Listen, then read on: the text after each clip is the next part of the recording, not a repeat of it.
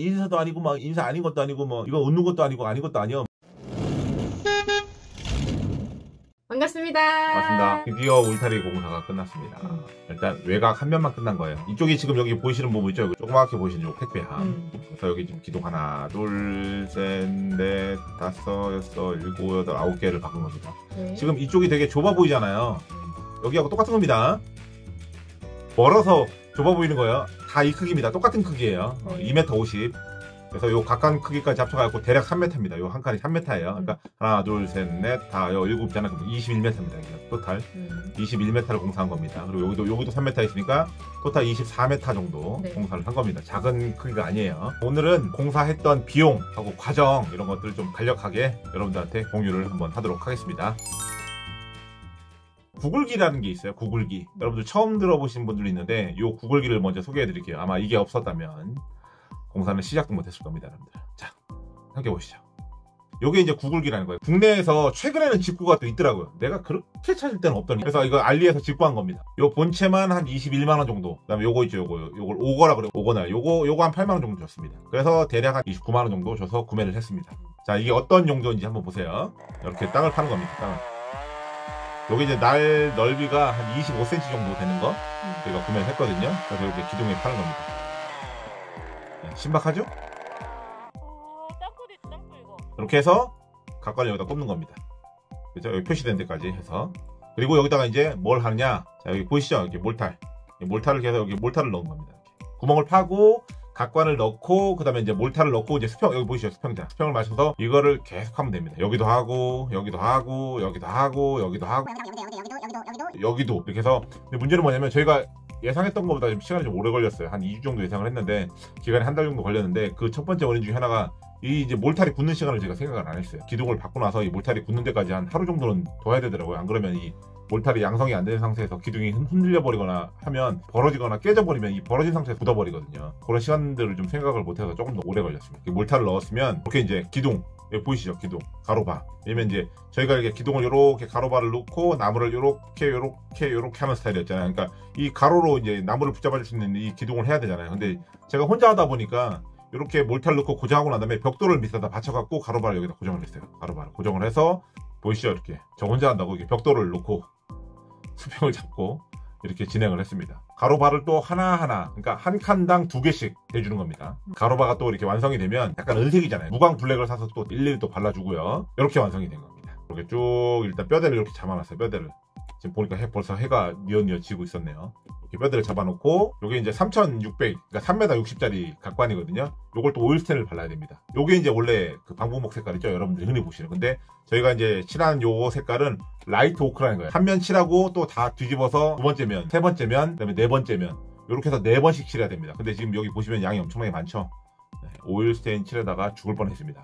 그냥 방부목으로 하면 안 되는 거였어요. 방부목이 음. 그냥 내비둬도 돼요. 음. 근데 이제 잘 안 썼고 이런 목적으로 이제 전처리가 돼서 나오는 제품이긴 한데 음. 오일스텐을 칠하면 첫 번째 제일 좋은 건 색감. 음. 자기가 원하는 색감을 낼 수 있고 두 번째는 이게 잘 안 썩어요. 천연 오일이에요, 천연 오일. 그래서 나무에 바르면 얘가 이제 쫙 빨아먹고 음. 나중에 바르고 나서 보시면 알아요. 비가 오면 빗방울 다 튕겨내, 흘려내려보내. 그래서 얘 수명이 2배도 아니에요. 거의 10배 이상 길어져요. 얘를 칠하면. 그래서 오일스텐은 매년 칠해야 된다는 분도 있는데 저는 그건 좀 오바고요. 그래서 한한 4, 5년 음. 네, 한 번씩은 칠해 주시면 좋을 것 같아요. 그리고 이제 색상을 처음부터 너무 진한 색으로 칠해갖고 망하시는 분들 너무 많이 봤어요. 빨간색 나오고 막 음, 음. 무슨 아시죠? 막 옛날 색깔 막 그런 거 칠해갖고 망하신 분들 많이 봤거든요. 그러니까 처음에는 굉장히 옅은 색깔을 칠하세요. 두 번, 세 번, 네 번 칠하다 보면 색깔이 자꾸 또 진해지기도 하거든요. 그리고 옅은 색 칠해보고 아 좀 안다 싶으면 그때 가서 진한 색 칠하셔도 돼요. 그러니까 처음에는 가급적이면 밝은색으로 음. 꼭 칠하세요. 그래서 저도 처음에는 약간 제가 생각했던 것보다 한 톤 더 밝은 거를 선택했는데 저희는 이게 딱 좋더라고요. 방부목을 다 칠하면 이제부터 시작입니다. 제가 혼자 시공을 해야 되잖아요. 그러니까 이걸로 목공용을 사서 집어넣고 피스질을 한 겁니다. 하나하나. 이렇게 하다 보니까 시간이 굉장히 오래 걸려요. 시공하는 과정, time lapse 한번 보여드릴게요. 일일이 하나씩, 하나씩, 하나씩. 이게 지금 저희가 2초에 한 번씩 사진을 찍은 거예요. 그러니까 굉장히 시간 오래 걸리는 겁니다. 나무 흔들리는 거 보이시죠? 여기, 여기. 나무 흔들리는 거 보이시죠? 지금? 구름 지나가는 거 네, 보이시죠? 구름, 구름 보세요, 구름. 구름 엄청 빨리 지나고 있지 않습니까? 그죠? 이렇게 하나하나 일일이 제가 한 땀 한땀 어머님이 지나가다가 또 이제 한 말씀 하시고 음. 이렇게 진행을 했습니다. 최종 완성된 게 여러분이 보고 있는 바로 요 사진입니다. 그리고 이제 내부에서도 한번 보여드릴게요. 요게 이제 완전 최종본, 택배함까지 완료되어 있는 완전 최종본. 땅이 약간 요렇게 위로 올라가는 경사면이에요. 거기에 맞춰서 작업을 한 겁니다. 여기. 제일 중요한 건 그거겠죠. 그래서 얼마 들었는데 제일 중요한 거죠. 그래서 오늘 얼마 들었는지 뭐 비용하고 이런 것들 좀 디테일하게 저희가 말씀을 드리겠습니다. 첫 번째가 이제 방부목이에요. 전문가분들이 그죠 뭐 2x2, 뭐 4x4 뭐 이런 식으로 얘기하잖아요. 그러니까 요게 흔히 말하는 2x2. 정확히는 38mm, 38mm 이렇게 네모나게 생긴 거고요. 길이가 3600, 3m 60. 수량은 저희가 200개 주문했고요. 그러니까 토탈 400개가 들어간 겁니다. 왜냐면 반씩 잘라서 1m 80으로 저희가 진행을 했으니까 요게 단가가 6,600원인데 참고로 요게 아, 업체가예요, 업체가. 제가 요거를 똑같은 거를 건자재상 가서 개인 소비자로 물어보니까 8,800원 달라고 하더라고요. 대당 2,000원씩 비싼 거예요. 그러니까 여러분들이 만약에 업체가로 구매 안 하고 일반가로 구매하시면 개당 4,000원씩 하시는 거예요. 왜냐면 이게 3m 60짜리 반 잘라서 했으니까 제가 요거 하나가 4,000원인 거예요. 4,000원, 8,000원, 12,000원, 16,000원 비용이 엄청나겠죠. 그래서 방부목은 저희가 이제 집 지었을 때 아신 분한테 좀 부탁을 해서 저렴하게 좀 구했습니다. 인천 쪽인가? 거기 이제 인터넷에 찾아보니까 업체가 있더라고요. 레티스나 이런 것들을 지금 저희가 추가로 좀 자재 구해서 하는 것들이 있잖아요. 근데 거기도 가격이 똑같더라고요. 일반 소비자인데 업체가로 좀 거래가 가능하더라고요. 거기도 혹시나 궁금하시면 저희가 댓글 남겨놓으면 거기 주소 나중에 업체명하고 이런 거 알려드릴게요. 대량으로 주문하지만 조금 싸게 아마 주실 거예요. 그 다음에 이제 저희가 아연곽관 있죠? 아까 기둥. 기둥 중간중간에 이게 기둥 박혀 있잖아. 큰 기둥. 75mm 75mm짜리 기둥을 사용했고요. 길이가 이제 여기 하나에 6m짜리예요. 요거 다섯 개. 그래서 저희가 2.5m씩 자른 거예요. 2.5m 2.5m 하고 1m짜리가 남았겠죠. 요거는 그냥 따로 보관하고 있고요. 아무튼 요게 단가가 한 5만 3천 원, 요 단가가 조금 이상한 이유가 뭐냐면 저희가 예전에 미리 좀 사둔 게 있었어요. 그래서 그거하고 좀 섞여서 그래요. 그래서 요 각관이 대략 한 뭐 26만 5천 정도 나왔고요. 그 다음에 아까 보셨죠? 요 두개 중간에 연결하는 거. 요거 C형관으로 했거든요. 요 C형, C형관이 옆에서 보면 이렇게 생겼어요. 그쵸. 그래서 C형관이에요. 여기가 60, 여기가 60mm고요. 요 길이가 30mm예요. 그래서 60에 30짜리 C형관이라고 이렇게 부르더라고요. 그래서 요게 길, 요거는 길이가 5m짜리예요. 그래서 2.5m 자르니까 바로 그냥 짜투리 없이 바로 나오더라고요. 요거 8개 해서 24만원. 그 다음에 피스 500개짜리 저희가 3개 사서 한 1500개 정도 쓰고 조금 남았거든요. 피스만 한 1200개? 정도 쓴 것 같아요. 그래서 요 피스값 39,000원. 그다음에 페인트 검정색 아까 무광 보셨죠? 그거 한 통에 28,000원. 그다음에 알루미늄 바가 뭐냐면 요거 보이시죠 은색. 요걸 왜 했냐면 나무를 이렇게 박다 보면 제가 이렇게 박았잖아요. 나무 이렇게 이렇게 해서 가로바 이렇게 이렇게 두 개 있잖아요. 근데 이 사이가 너무 멀대요. 이 사이가. 나중에 이 나무가 이렇게 배부른대요. 이렇게 배부른대요. 이렇게 배부른대요. 이렇게 한쪽으로. 그러면 얘는 이쪽으로 비우면 이쪽은 너무 넓어지고 이쪽은 너무 좁아지잖아요. 그럼 엄청 보기 싫다고 하더라고요. 그래서 가로바 하나 대보는 게 어떠냐 싶어서 이 가로바를 구매를 해서 저희가 추가로 좀 진행을 했습니다. 그래서 그거 한 13만 6천. 그러고 보니까 알루미늄 파가 굉- 돈이 굉장히 비쌌네요. 이 가로바 연결할 때 여기를 경첩을 사용했어요. 경첩을. 그러니까 저희가 이 공정을 진행하면서 용접을 단 한 번도 하지 않았습니다. 아, 왜냐면 첫 번째 이유는 용접을 할 경우에는 이 각관들이 저희가 얇은 걸 쓰잖아요. 보통 한 1.4T 정도 쓰는데 이거 다 빵꾸납니다. 초보자들이 하면. 두 번째 문제가 뭐냐면 저희가 지금 사이즈가 좀 제법 있잖아요. 길이가. 그럼 바람이 심하게 불거나 이게 흔들리거든요. 근데 용접은 터집니다. 어느 정도 흔들리고 유연성이 있어야지만 불안한 것 같지만 이게 오히려 더 튼튼한 거거든요. 기둥하고 기둥 사이에 사이즈를 딱 맞추려면 저희가 이제 자르는 게 없었잖아요.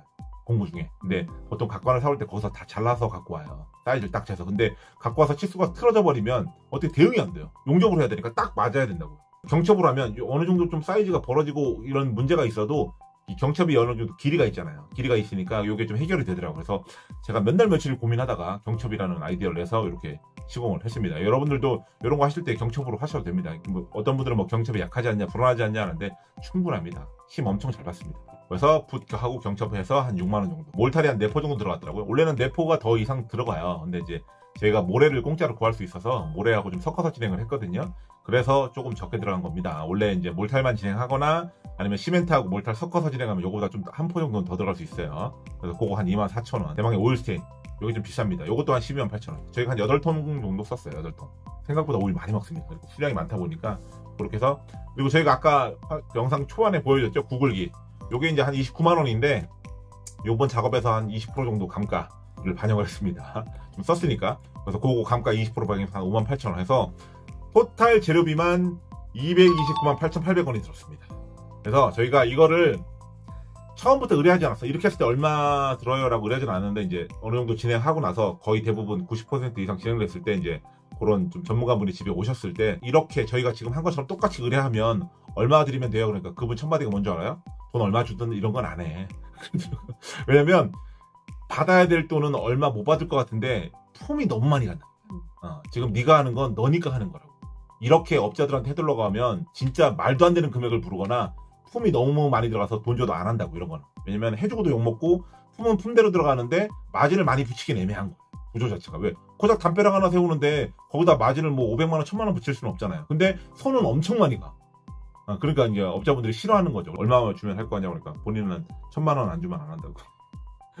이렇게 하는 경우는 없다고. 네가 지금 한 거는 지금 말도 안 되는 거라고. 예전에 이런 형태의 이런 거를 되게 고급진 주택에서 한번 본 적이 있어요. 근데 그게 이제 머릿속에 좀 오래 남아 있었나 봐요. 음. 그래서 이렇게 꼭 해보고 싶더라고요. 근데 해봤는데 역시나 아 장난 아닙니다. 진짜 저도 하면서 솔직히 솔직히 그냥 시작했으니까 끝낸 거지 진짜 힘들었어요. 힘들었어요. 그래서 여러분들은 웬만하면 도전하지 마시고요. 이렇게 잘 끝났다 보고도 드릴 겸 다시 한번 before 사진 보여드릴게요. 요랬던 데가 그죠? 이렇게 휑했죠? 음. 지금 이렇게 바뀌었어요. 보이시죠? 나중에 내부에서 보면 훨씬 더 안정감이 있어요. 아무리 시골에 귀동귀촌 하거나 뭐 전원주택 들어왔다고 해서 옆집하고 친해요. 근데 저희는 옆집하고나 이런 좀 떨어져 있잖아요. 그나마 좀 괜찮은데 전원주택이나 이런 데 가도 옆집하고 바로 붙어 있잖아요. 전원주택 단지도 조금 그나마 가깝단 말이에요. 근데 안 친한 거는 말할 것도 없고요. 친해도 자꾸 이제 밖에 나와서 놀 때마다 자꾸 이렇게 사람 마주치고 마주치고 이러면 왠지 모르게 조금 불편해요. 사람이라는 게 아무리 친해도 아 어쨌든 계속 인사를 해야 되고 그리고 또 아까 아침에도 인사해야 되는데 오후에 또 만나면 또 인사도 해야 되나? 해야죠. 어? 해야죠. 30분 전에 인사했는데 30분 뒤에 또 만났어. 또 인사해. 그래도 눈이사 옆, 옆집인데. 근데 들어갔다 5분 뒤에 또 만났어. 음. 또 인사해. 해야죠. 어? 음. 5분 뒤에 또 만나면 또, 만- 또 인사해.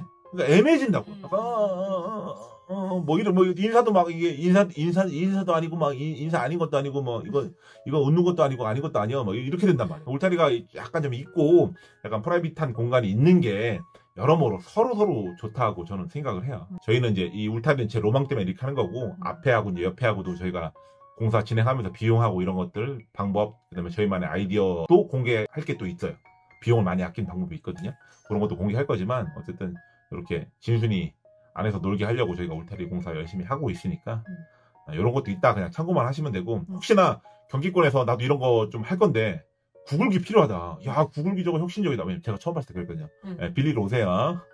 댓글 다세요. 아니면 메일로 연락처하고 이렇게 주시면 예, 빌려드릴게요. 아 그리고 공짜 아닙니다. 어? 대엽 있나요? 예, 대회비 있습니다. 대회비. 커피 아시죠? 저기 투플러스 편의점 커피. 편의점 커피 그거 그거 아홉 개. 투플러스님 세 개잖아. 어. 세개 세 묶음 그거 아홉 개. 본인이 기름하고 오일은 본인이 사서 넣으셔야 됩니다. 그런 것까지 안 나와요. 음. 고장나면 본인이 고치셔야 돼요. 근데 가져가자마자 고장났다. 억울하다. 어쩔 수 없어요. 본인이 운이 없는 거예요. 가져가기 전에 정상 작동하는 거 확인시켜 드릴게요. 알았죠? 근데 가져갔다 고장났다. 물어내셔야 돼요. 음. 그건 감안하시고 혹시나 저게 너무 필요하다 하면 렌탈 해드리겠습니다. 단 저희 구독자에 한해서입니다. 음. 저희 구독자. 나중에 제가 유튜브 와서 구독했는지 언제부터 구독했는지 댓글 단 적이 있는지 다 확인합니다. 댓글 한 번도 안 달았다. 구독했는데 안 됩니다.